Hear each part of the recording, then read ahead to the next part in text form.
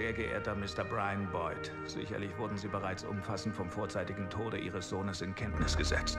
Dennoch gibt es einige persönliche Wir sind Details. zutiefst bestürzt über Ich diesen finde Tag. keine Worte. Er war ein guter Soldat. Angesichts der Umstände, die zu seinem macht seinen führten, Tod zu einem unermesslichen Roberts Verlust. vorgesetzter Offizier heldenhafter Einsatz für seinen war ein Vater. ausgezeichneter Soldat. Der Gnade Gottes und der Hilfe ihres Sohnes ich verdanke mein ich mein aufrichtiges. Beileid Er wird aussprechen. uns immer Haben unvergessen Sie mein tiefstes Mitgefühl.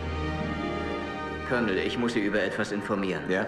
Diese zwei Männer sind in der Normandie gefallen. Der hier in Omaha Beach, Sean Ryan, der in Utah Beach. Peter Ryan, Der hier wurde letzte Woche in Neuguinea getötet. Daniel Ryan. Die drei Männer sind Brüder, Sir. Ich habe gerade erfahren, dass Ihre Mutter heute Nachmittag alle drei Telegramme bekommt. Das ist noch nicht alles. Es gibt einen vierten Bruder, den jüngsten. Der ist irgendwo in der Normandie. Wo wissen wir nicht. Wenn der Junge noch am Leben ist, schicken wir jemanden los, um ihn zu suchen. Und schaffen ihn da raus, und zwar schnell. Ein Soldat im Hundertsten hat drei seiner Brüder verloren und darf ab nach Hause. Es wird schwer sein, in diesem verdammten Krieg einen bestimmten Mann zu finden.